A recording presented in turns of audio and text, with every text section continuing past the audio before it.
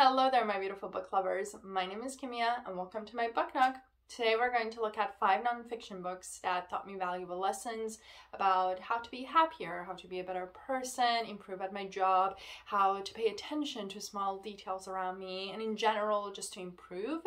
I generally read much more fiction compared to nonfiction, but I always try to read at least a bunch every other month or so, simply because after you graduate or finish school, you're not going to learn as much about other areas as you're going to be so focused in your little bubble and the field that you're working on. Because when you're in school, you have the chance to take different classes and like learn a little bit from like different fields, anything that you're interested in, anything that you might be interested in. But by the time that you graduate and start working, you're really in that bubble and you don't have the time, you do not have the opportunity to learn from other different fields or different things that one day you used to be interested in or you want to be really learn about. And because of that, I find nonfiction books the great resource there because you still can learn from different fields, anything that you're interested in, and feel that you're still learning because it's very important to always seek the knowledge, really stay curious and just just learn.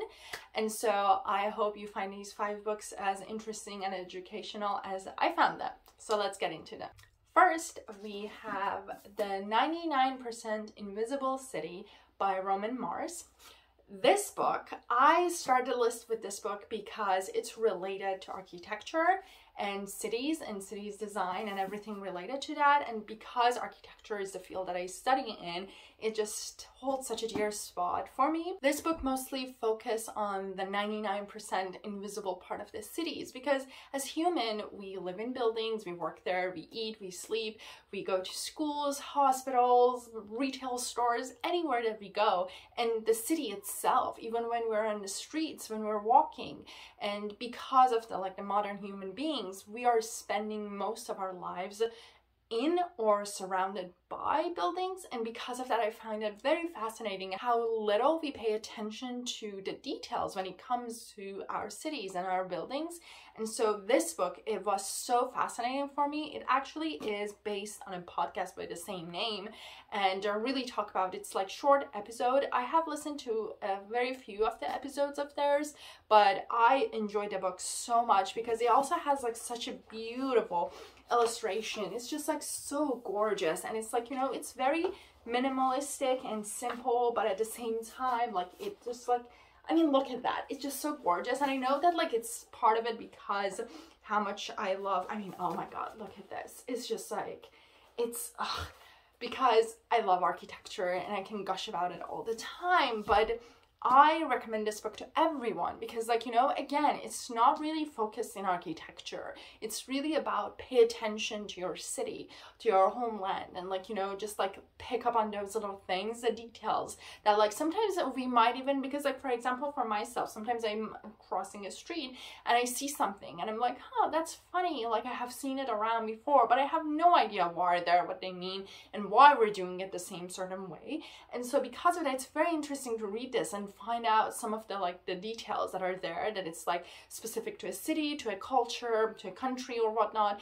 And so it can teach you a little bit. And it's a, like a very again basic fundamental sort of situation. You don't need to have an architectural degree. And that's the thing with all of these books. None of them are really like you need to have the background knowledge to get into them but it's actually for the people to not that do not have that background knowledge and it's trying to teach them and it's just so fascinating beautiful. It's a very fast read at least for me it was because like the chapters and parts are very short and you can get into them and i love that it's in different sections so it focus on different things. Every single um, section that it has and it breaks it down into different chapters and so hopefully you will enjoy it as much as i did. Next we have dare to lead by brene brown this book is a fascinating one. This book it's about how to be a good leader, but not only and specifically when it comes to your job, but it can really applies to your family, your relationship, your friendships and any part of your lives really because it's talking about who are good leaders and how it's not always about the power. While a lot of companies, uh, like the different power structure that we have seen around the world, sometimes applies that it's about to have the power to stick with it and like you know use your power to lead people into like any sort of situation that you're in or the company that you're in or anything of that sort.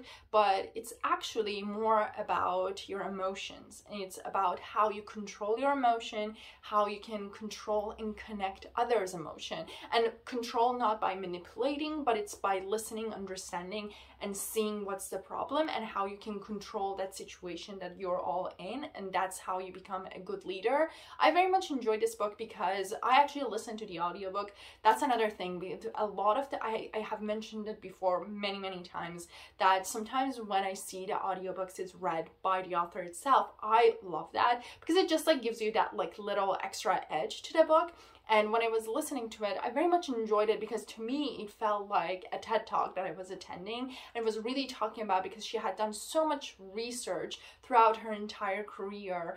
And she was really talking about how, while interviewing all of these like big names and like, you know, CFOs, CEOs, how they are trying to be good leaders, how they have been successful, how they have not been successful, how they can apply it to like how, um, people or leaders of small businesses, how they have been controlling their teams. And it's like really coming down that how important it is when you are a leader to really listen, but also to connect because like it's sometimes can be easy to sit and listen, but if you're not able to have that empathy and really connect, then you're it's that listening, it's not going to be really useful because like you're not going to understand how to fix the issue or how to improve it, how to work with it. And so I found this book interesting because for me, and especially as a person that just starting my career journey, it's really interesting to see it because, like, sure, at the moment right now, I'm not really looking after anybody else and I'm the person at the bottom, but it's good to know from the beginning. So, by the time that you're given more and more responsibilities, you can know how to control it, how to take care of it, how to take care of others, because that's the thing with jobs, honestly. Because, again, I said that like this can apply to all of the aspects aspects of your life, but like for right now to focus on your career, when it comes to jobs, your talents and your skills are very important, but your relationship with people that you work with it's much much more important. And you can ask that from anybody that you know or you trust and they will say the same thing because sometimes you can be the most talented person ever but if you have I don't know, if you're rude, if you do not how to connect with people, if you make them feel awkward or weird around you, you're not gonna get that promotion. But the person that might not be as talented as you, but it's actually a people person, that person 100% is going to get the promotion. And like, I'm not going to talk about if it's right or not, but it's because like, the way that it is. You know, we're working and we always want as human being to work with people that we feel comfortable with. And it's not about like we're a big family. No, your job is never your family. Never put it on top of your family. Your family always comes first. That's it. Or like yourself, even if it's just you, yourself and your mental health come first and then it's your job. But look at it as a like a group of friends, classmate, acquaintance that are working together and you want to be with a group that you're feeling comfortable with and because of that it's how important it is to connect with them emotionally, how important it is to be honest, to listen, to connect, how to show sympathy. And so because of that I very much enjoyed this book and taught me a lot and hopefully you can learn some stuff from it and you might be already a very good leaders but hopefully this will teach you a little bit more. Then we have Outliers by Malcolm Gladwell. This book, I read it, oh my god, six, seven years ago when I first read it, and it's a book that has stuck with me ever since. It's if you have read any of Malcolm Gladwell books, he is such a great storyteller. He really is. He has this very unique way of writing to make all of these research and data that he had gathered seems like a very fun essay to read and Outliers was the most fascinating one that I read because to me it made sense in so many different ways. This book it's talking about how it's never fully a self-made person that it's at the top, but it's always, always, always about luck, the opportunity that they had, the first and start that they were able to have because of their family, their family, their connection, and also the hours that they had put into it. So it's never that like one person by only the hard work that they put in got to the top. But you can put all of those hard work, but if you do not have all of those other things, you're never going to get to the top. And at the same time, if you have all of those things, but you do not put the hard work, you're not going to get to the top either. So it's like very interesting to see it. And he talks about how the magic number is 10,000 hours. And it's talking about how you can master anything if you had put that much of an hour into that field or whatever practice that it is. And it's very true because, like, if you think about it, if you love something to give it that much amount of time, you're gonna master it because like the thing is like you're never going to put that much time in something that you don't like and you don't enjoy eventually you're going to just give up and so you're not gonna make it at least in that field or that part of your life but if you enjoy it and like it enough to put that much time and effort in it, you're obviously going to make it. But it's also very, very important, especially in day and age, that a lot of people want to come as like oh i'm a like for example oh the best examples is like a whole while ago that um kylie jenner was like oh she's a self-made uh, 30 under 30 or something like millionaire billionaire. And i'm like but she's not self-made. Do you know how much money just money alone her family has given to her for her to start. Sure, she might have had a good idea, sure, she might have put the hours in it, but she had all of that money and also all the connection. And she was already famous, you know, from a very, very, very young age. Everybody knew that family. So you cannot say that she was self made because she had all of those things that led to her become billionaire and have that much money and success, you know? And so that's a reason that it's very important to realize that sometimes it's not really you. You're still putting the hours, it's just that some people had a first head start and it takes you longer to catch up with them. And because of that you should not really try to criticize yourself and like question yourself or wonder that like why a friend of yours is doing more at the same age as you are. And again it's not good to compare because we are all on our different journeys. We have to go through different ways and path to reach to the same goal sometimes. And so because of that i very much enjoyed this book. It was very fascinating to me to read and really see that how sometimes in a very weird way, some stuff that are way out of our control can play a huge role into our success or our failure. And so I highly recommend to give this book a go because it's just, it's really good. It's very fascinating to see how all of these things plays in our failure and success. And it's again, it's not to discourage us to work hard or just like give up and be like, well, my family, it's not rich and I don't have all the connection, so I'm going to fail. But it's really about like, no, how about like, yes, you have to recognize that you're going to start a little bit behind the line, but doesn't mean that you cannot push and try to have those things then maybe, maybe like you will reach it 10 years later, but you still can do it, you know? So because of that, highly recommend, give it a read. Then we have Gut by Giulia Enders. This book is a fun one. Um, this book is about our gut, the most underrated organ of our body.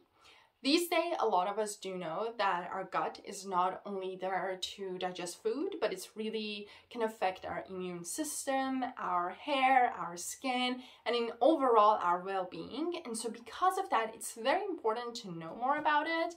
And this book is just the most fun way to learn about that I'm not really a science person. Like when it comes to biology in general, I'm just get very queasy and just nausea and I just don't like it. It's just a me thing.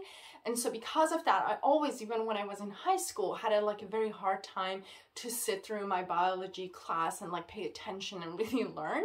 But this one, it's so fun and like it has all of these like very cute, funny, doodling illustrations. Like, I mean, look at this.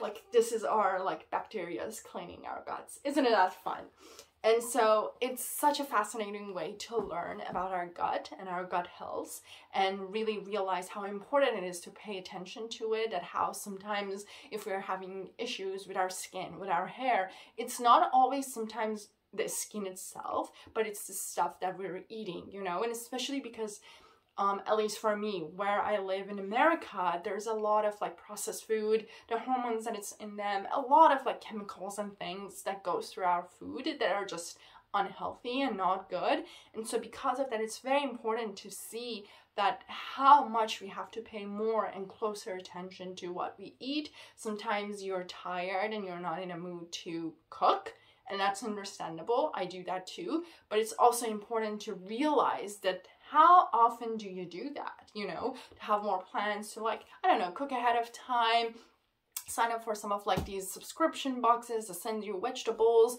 Sometimes the thing that I do is that like I generally either hide those things like I do like I have a little like little cabinet that I put a lot of like my snacks and stuff and I'm one of those people that if it's not in front of me I will forget that is just like I will completely forget that I even had those and so sometimes I will go back and I'm like oh I have like this chips or whatever and so like for sometimes I do that sometimes I just refuse to buy anything and just like you know buy vegetables and good foods so I can eat healthier for at least a good amount of time.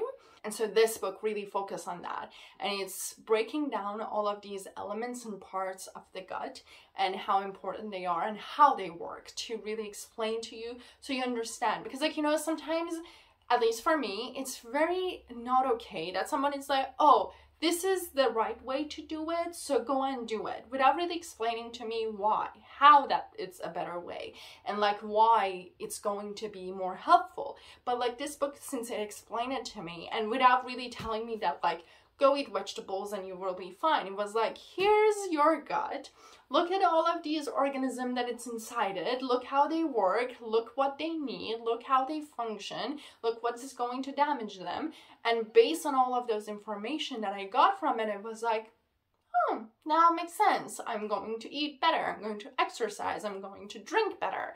And even like, you know, you pay attention and like you realize that, oh, I'm feeling like a little bit weird, you know, and like, you start to think like what I've been eating the past week, have I been exercising? And so this book, it's one of those that again, it's fun to read and that's not always the case when it comes to like body. Um, look at this.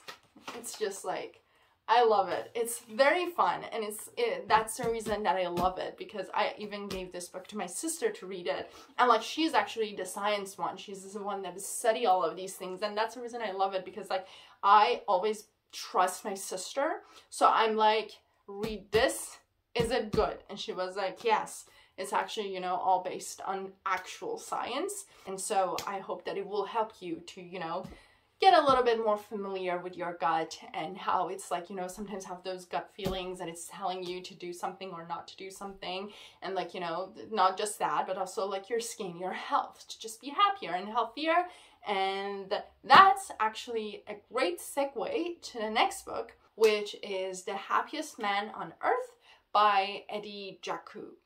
Now, this book, oh my god, I listened to the audiobook and cried so much, but crying out of joy, but also sadness. So let's just elaborate.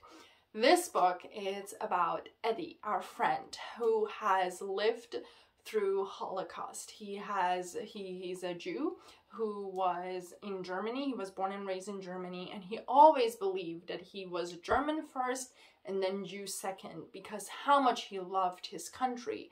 But then all of those horrible horrible stuff start to happen and he was captured and he went through all of the just horror of Holocaust. He lost family members, friends, loved ones. He himself was tortured. And because of that, like nobody believed that he will survive. By the time that finally Hitler died and everything collapsed and all of that, um, by the time that he was freed, they really gave him like just few months, maybe year or two max to be able to survive because how bad physically and mentally he the stage that he was in but then he proved them all wrong and he actually lived to be 100 at least the book was written by the time that he turned 100 and through this book he's really talking about survival the importance of friendship and love and how to be happy despite all of the darkness that is in this world. And one part that I very much love, and I'm kind of paraphrasing here, but was talking about how your kindness can really save a person sometimes. You know, they can be going through the worst day or month of their life, and you being kind to them, just smiling, trying to help them, reaching to them can really save them. And I just love that because it's so true. You know, we as human beings, we don't know what anybody else is going through and it's really important and i do understand that sometimes it could be very hard because we might be the person also that is going through a hard time but it's important to remember to be kind as much as we can to really just try to find that light in that dark, dark tunnel to be that light for sometimes like we cannot find it and we should be the light ourselves.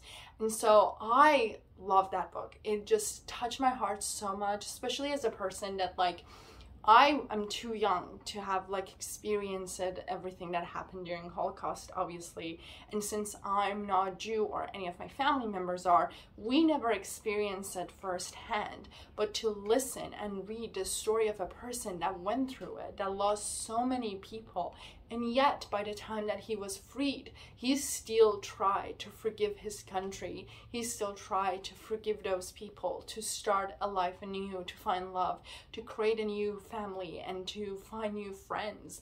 And that's just beautiful, you know? That really shows that survival skill that sometimes not everyone can have and we should all try to have because it's really hard to come from that you know how can you forgive a country that did that to you you know that much horror it's not a, and it's not only about you but it's all the people that died around you your family members your loved ones and still to try to forgive it that's very very big you know?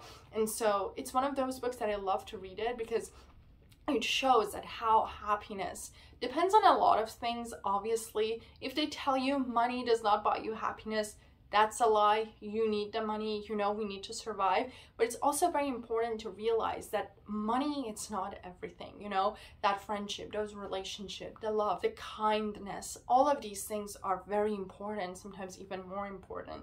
And so it's a good reminder to really sometimes also see that maybe your worst day, it's not as bad as you might think it doesn't mean that it's not a bad day. It absolutely is. And your feelings, everything is valued and it's you have the right to feel like you're having a bad day. But sometimes when you look at it in perspective, it start to gives you that little bit of a light to be like, you know, it could have been much, much worse. So maybe, you know, I can like be sad a little bit less and so I enjoyed it very much. It was a very moving book, and especially because like I love that Eddie every time that he was talking, he called me and everyone that was reading the book my friend, you know? And that's like such an adorable little connection there, you know? You do not feel you're reading a book, but you're feeling like you're having a conversation with a person, you know, that are sitting in front of you and you're just listening to them telling you